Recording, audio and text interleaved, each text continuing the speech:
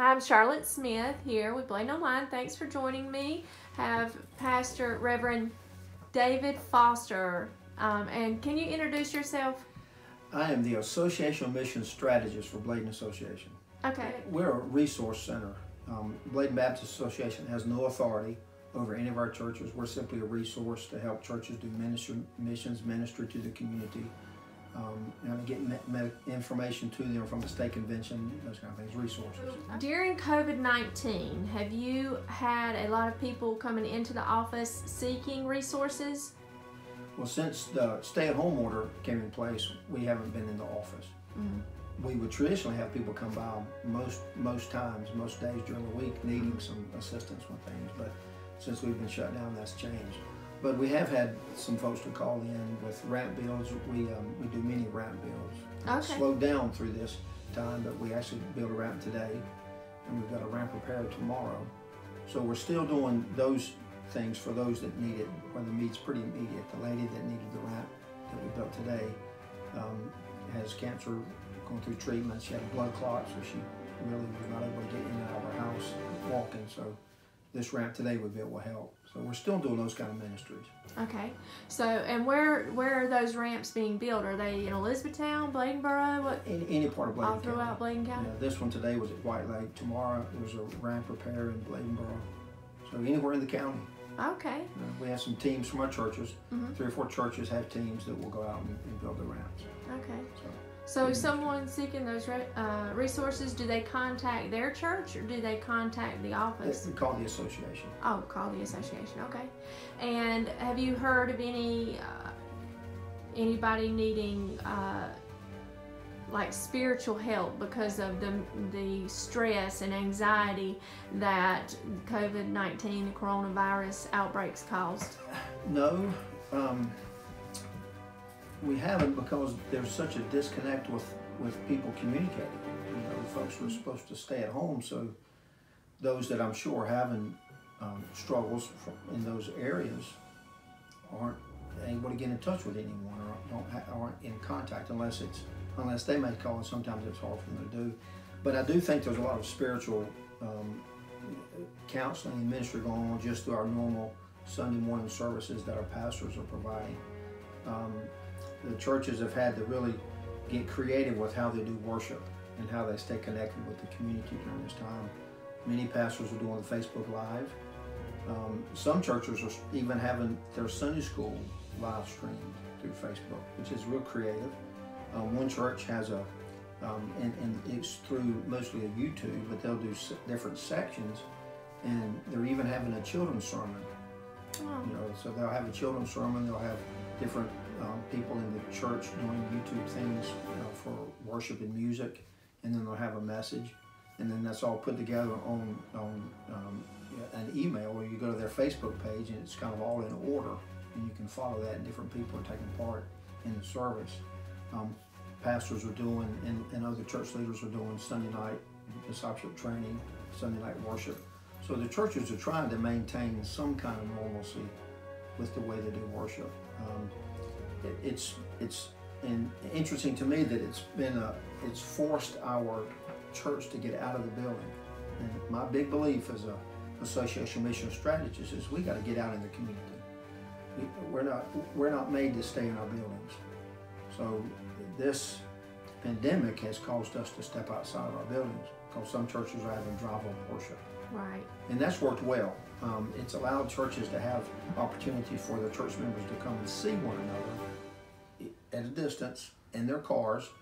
Uh, no one gets out, no one comes up to the cars, but they can see each other, and, and, and it does seem to bring that sense of community back together.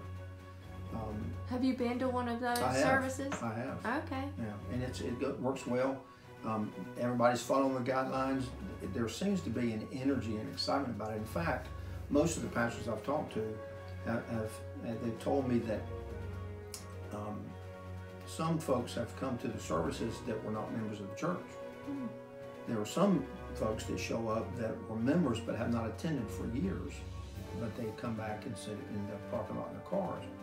Now, one pastor told me that the first Sunday they did it, they noticed that neighbors across the street from the church that had never been to the church came out on their porch and sat on the porch during the Sunday morning worship service. So the gospel's getting out into the community, even with the drive up and with the Facebook Live.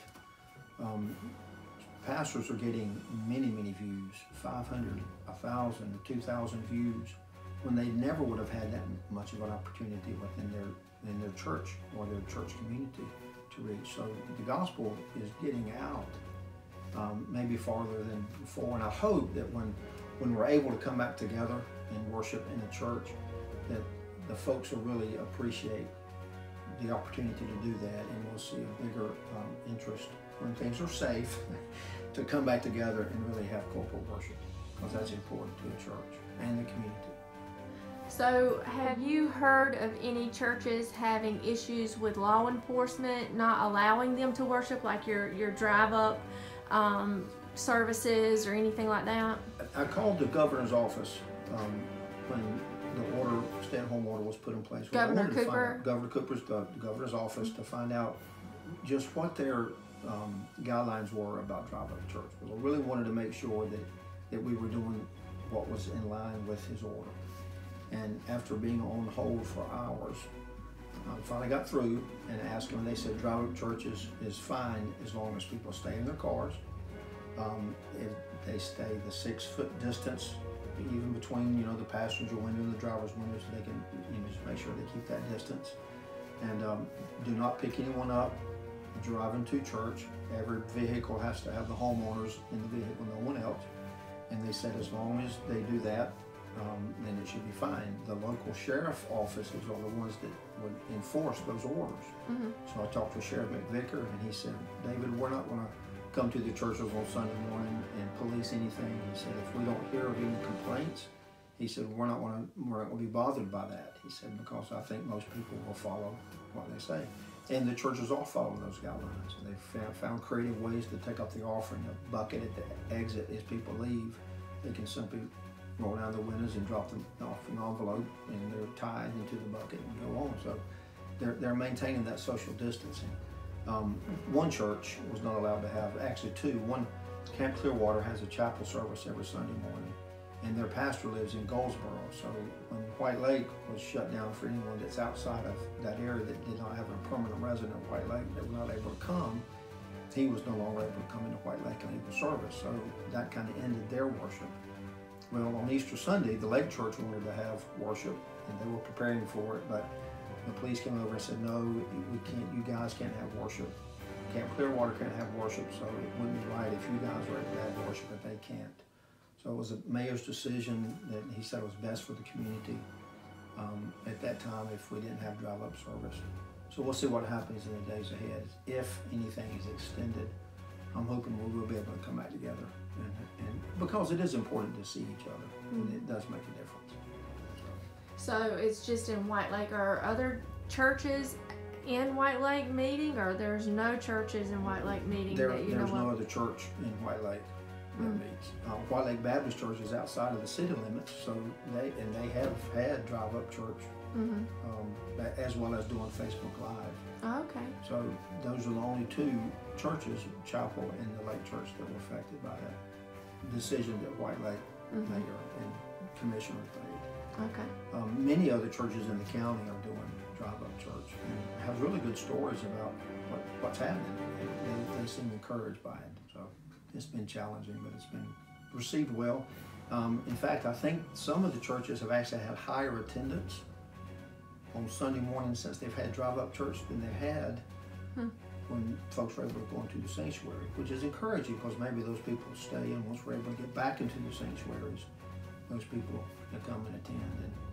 And, and again, hopefully, Charlotte, I really hope that this helps us um, see the need to get out in the community with the gospel. That it's not just about us and our church and have ability to have worship. In fact, one of my concerns when all this came about is I heard people calling up and saying, well, we can't go to church. We're upset that we can't go to church.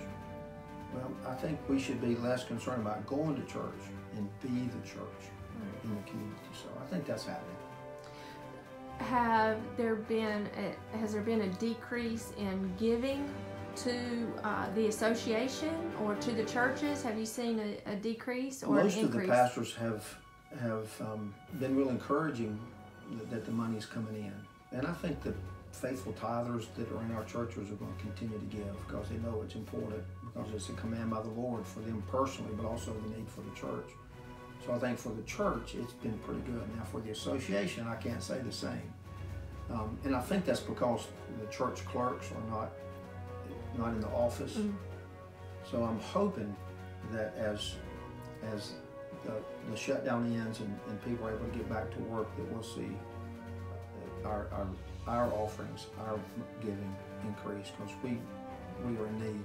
Right. We are. I know do the resources that we have, it, it's it, it, it's an expense, You guys provide uh, the ramps, right? and I know that if someone's house burns down, I think there has been there's been residents in Bladen County who actually recently had their homes burned. So I don't know if they they've been here or not, but I know that you guys have funds for that as well. Do you got what are you using your funds for now? What kind of ministries do you have coming up that might be affected by COVID nineteen? Well, just general resources for the for the community, for the, the churches. Um, we don't have uh, most of our budget is the, the staff and the, the building.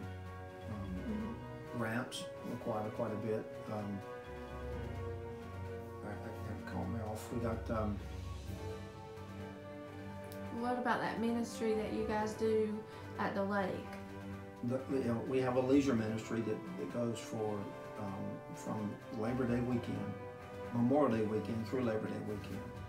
And I hope we can have it this year. There are five campgrounds around White Lake, um, and it's a 30-minute devotional, 9 o'clock to 9:30. And um, we've had good response with that.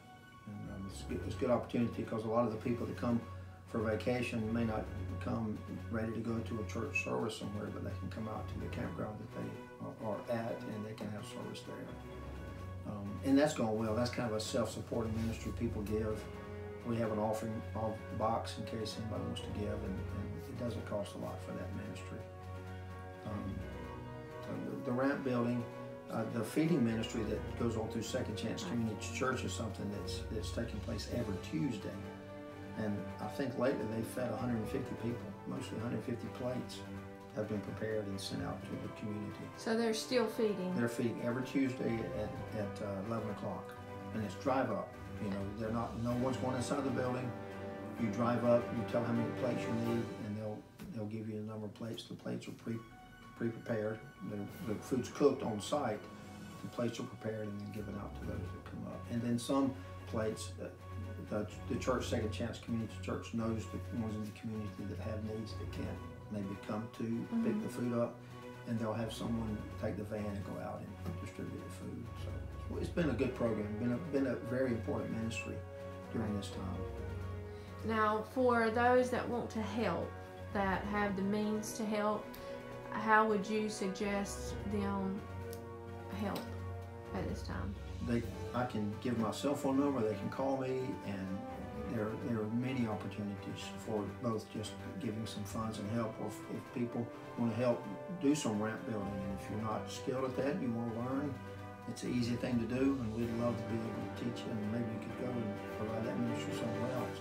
Um, our, the Baptist men, through our state convention, have asked um, churches to volunteer to, to open up like a cook uh, kitchen site at their facility when they find out their needs in the community. And many of our churches have volunteered for that, but no one's, we haven't been given any names yet that, that have this particular need. They're probably out there.